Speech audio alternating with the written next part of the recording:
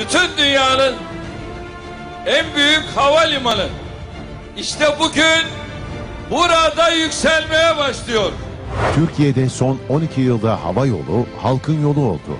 16 milyonu aşkın kişi ilk kez uçakla tanıştı. Havacılık sektörünü ayağa kaldıran atılımlar 2002 yılında başladı. O tarihe kadar ulaşım ağını karayolu üzerine kuran Türkiye, bu tarihten sonra gözünü gökyüzüne çevirdi. bu noktaya gelmemizin Yüzüne çevirdi. bu noktaya gelmemizin en önemli sebeplerinin başında Sayın Başbakanımızın Recep Tayyip Erdoğan'ın hava yolu halkın yolu olacak cümlesiyle özetlenen vizyonudur. Uçağa binmenin lüks olduğu 2002 yılında iç hatlarda yolculuk yapan kişi sayısı sadece 8 milyon 729 idi. Dış hatlarda ise bu rakam 25 milyonu buluyordu. Belli başlı illerde olan havalimanı sayısı bu tarihte sadece 26 idi.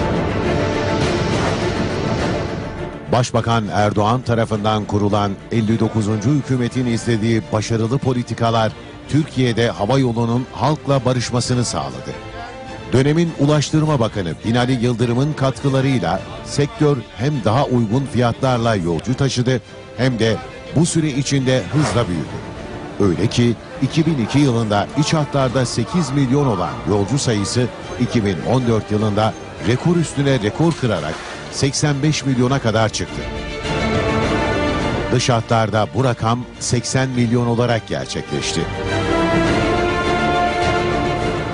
Havada yaşanan bu yolcu artışından en büyük payı İstanbul Atatürk Havalimanı aldı. Transit yolcuların gözdesi olan havalimanı hem iç hatlarda hem de dış hatlarda kilit bir rol oynadı. 2002'de yaklaşık 12 milyon yolcunun kullandığı havalimanından 2014'te 57 milyon yolcu geçti.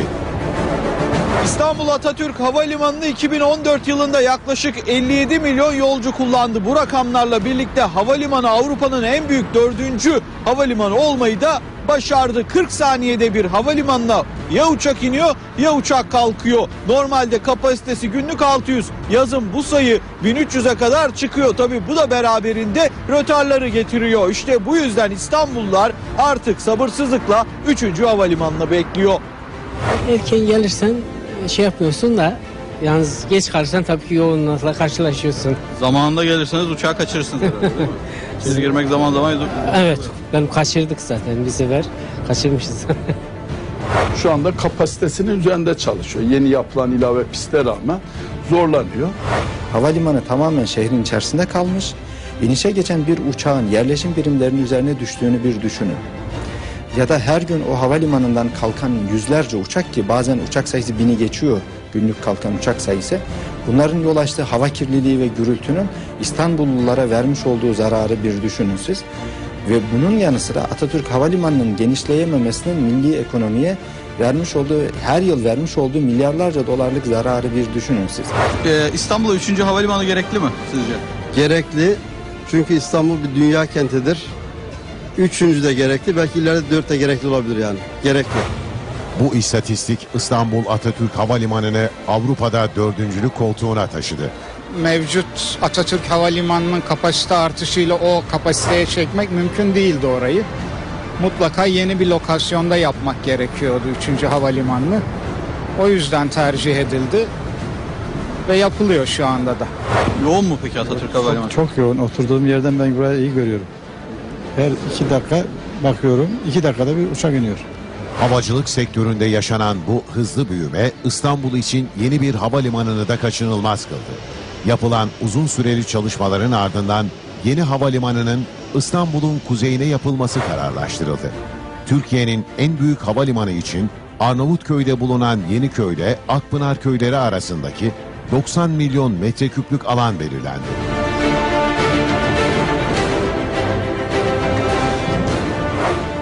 Dev Havalimanı için 3 Mayıs 2013 tarihinde Ankara'da ihale düzenlendi. Tüm dünyanın gözünün çevrildiği ihaleye birbirinden önemli firmaların yer aldığı konsorsiyumlar katıldı. Büyük çekişmeye sahne olan ihalede konuşulan rakamlar dudak uçuklatacak cinstendi. 7 milyar euro ile açılan ihalede iki konsorsiyum kıyasıya yarıştı. Kıran kırana süren pazarlık 87. turun ardından sonuçlandı. İhaleyi 25 yıllık kira bedeli için en yüksek teklifi veren Limak Kolin Cengiz Mapa Kalyon Ortak Girişim Grubu kazandı. Beşli konsorsiyumun 25 yıl için teklif ettiği kiralama bedeli ise 22 milyar 152 milyon euro artı KDV oldu. Türkiye'nin geleceğine güvenen, Türkiye'nin geleceğine yatırım yapan bütün ihale bütün ihaleye katılan konsorsiyumları, firmaları yürekten kutluyorum. Belki de bu yılın değil, Cumhuriyet tarihinin en büyük ihalesi, kamu özel sektör ortaklığı projesi bu ihaleyle gerçekleşmiş oluyor. Ancak tüm dev projelerde olduğu gibi 3. havalimanı içinde bazı çevreler ve özellikle de muhalefet karalama kampanyası başlattı. Havalimanı bataklığa inşa ediliyor, kamu zarara uğruyor denildi. Bazı batılı ülkeler ve yabancı medyada bu kampanyanın destekçisi oldu. Ama zaman geçtikçe görüldü ki eleştirilerin hepsi boştu. Zamanla da çatlak sesler sustu. Bu gezi zekalılar maalesef bu havalimanını azmedemediler.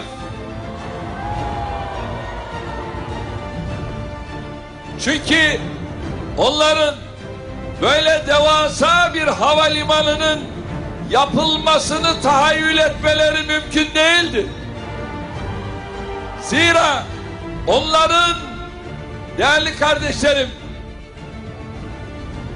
hayalleri bizim fiillerimizin ulaştığı yere ulaşamaz. Dünyanın en büyük havalimanı için çalışmalar kısa sürede başladı.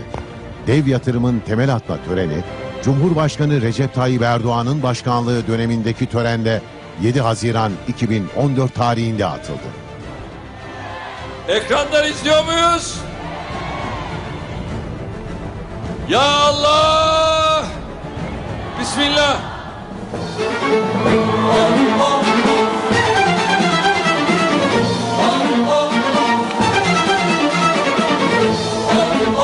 İstanbul'u dünyanın en önemli havacılık merkezlerinden biri haline getirecektir. İstanbul, doğu ile batı, kuzey ile güney ülkeleri arasında aktarma ve kesişme merkezi olacaktır. Türkiye artık eski Türkiye değil. Türkiye başarısızlığı kabullenmiş, talihine boyun eğmiş, kendisine çizilen role mahkum olmuş bir Türkiye asla değil. Türkiye engelleri aştı. Kendisine biçilen elbiseyi yırtıp attı ve olması gereken yere ulaştı. Cumhurbaşkanı Erdoğan'ın yakından takip ettiği havalimanı inşaatında ilk olarak sondaj ve dolgu çalışmaları başladı. İşi üstlenen firmalar havalimanının bulunduğu noktaya dev bir şantiye kurdu. Başbakan Ahmet Davutoğlu, Ulaştırma Bakanı Lütfü Elvan'la birlikte Şubat ayında şantiyeyi ziyaret etti, çalışmaları yerinde inceledi. Davutoğlu, projenin bitiş tarihini de burada açıkladı. Yılda 90 milyon yolcuyu ağırlayabilecek bir yapı, altyapı oluşacak. Bunu 2017 29 Ekim itibariyle bitirilmesini planlıyoruz. Daha sonra üçüncü bir pist eklemlenmesi o da 8-10 ay civarında bir ek süre gerektirdiğini arkadaşlar ifade ettiler. 2018 yazı itibariyle devreye girmesini planlıyoruz. Büyüyen Türkiye'nin her geçen gün artan gücünü ortaya koyan 32 milyar euroluk dev proje daha bitmeden dünyanın dikkatini çekmeyi de başardı. İstanbul'un 3. havalimanı yıllık 150 milyon yolcu kapasitesiyle pek çok önemli havalimanını geçerek birincilik koltuğuna oturacak. Toplam 76.5 milyon metrekare üzerine kurulacak olan havalimanı apron büyüklüğüyle de rakiplerine fark atacak. Üçüncü havalimanının inşaatı iş durmadan devam ediyor. Bu inşaatta yüzlerce iş makinesi, yüzlerce de kamyon çalışıyor. Özellikle pek çok ülke bu inşaata baktığında imreniyor. Çünkü burada yapılacak havalimanının 165 yolcu köprüsü olacak, 4 tane yolcu terminali olacak. Ayrıca 8 tane de kontrol kulesi bulunacak. Pistin uzunluğu toplam 3500 metre. İşte bu özellikler 3. havalimanını dünyanın sayılı büyük havalimanları arasına sokacak. 6,5 milyon metrekarelik apronda tam 500 uçak aynı anda park edebilecek. 6 bağımsız pistin bulunacağı havalimanında 165 yolcu kapasitesi, 16 taksi yolu ve 165 yolcu köprüsü yer alacak. Alacak. Üçüncü havalimanıyla birlikte İstanbul'da hava yolu ulaşımının merkezi haline gelecek. Dünyaca ünlü 150 farklı hava yolu şirketi bu havalimanını kullanacak. İşte bu havalimanı inşaatını tamamlamak için 3000 iş makinasıyla birlikte 30 bin işçi harıl harıl çalışıyor. Bu çalışma tamamlandığında 15 bin futbol sahası büyüklüğünde bir havalimanı ortaya çıkacak ve burada da 120 bin kişi istihdam edilecek. Her türlü uçak tipinin rahatlıkla kullanabileceği 3. havalimanı aynı zamanda bir teknoloji üstünü de andırıyor. Havalimanında 4 ayrı terminal binası, 3 teknik blok ve hava kontrol kulesi, şeref salonu, kargo ve genel havacılık terminali, devlet konuk evi ve yaklaşık 70 bin araç kapasiteli açık ve kapalı otopark bulunuyor. Ayrıca havalimanının içinde tıp merkezi, oteller, itfaiye ve garaj, ibadethaneler, kongre merkezi, güç santralleri, arıtma ve çöp bertaraf tesisleri gibi yardımcı tesislerde yer alacak. Ee, bu Avrupa'nın bir hub'ı. Mesela Abu Dhabi yine böyle bir hub'dır uluslararası arenada. İstanbul'da böyle bir e, yani İstanbul'un Avrupa'da hava trafiği açısından ve coğrafik olarak daha iyi konumlanmasını sağlayacak bir yatırım haline getirecektir İstanbul'u. Üçüncü havalimanında çalışmalar tüm hızıyla sürerken havalimanının raylı sistemle İstanbul'a bağlanması için de düğmeye basıldı. Üçüncü havalimanını Gayrettepe metrosuna bağlayacak olan projede ilk adım atıldı. Havalimanını kullanan yolcuların rahatça ulaşımını sağlamak için iki önemli hat daha bu noktaya bağlanacak. Hem üçüncü köprüden geçecek raylı sistem hem de halkalı Marmaray hattı üçüncü havalimanına bağlanacak.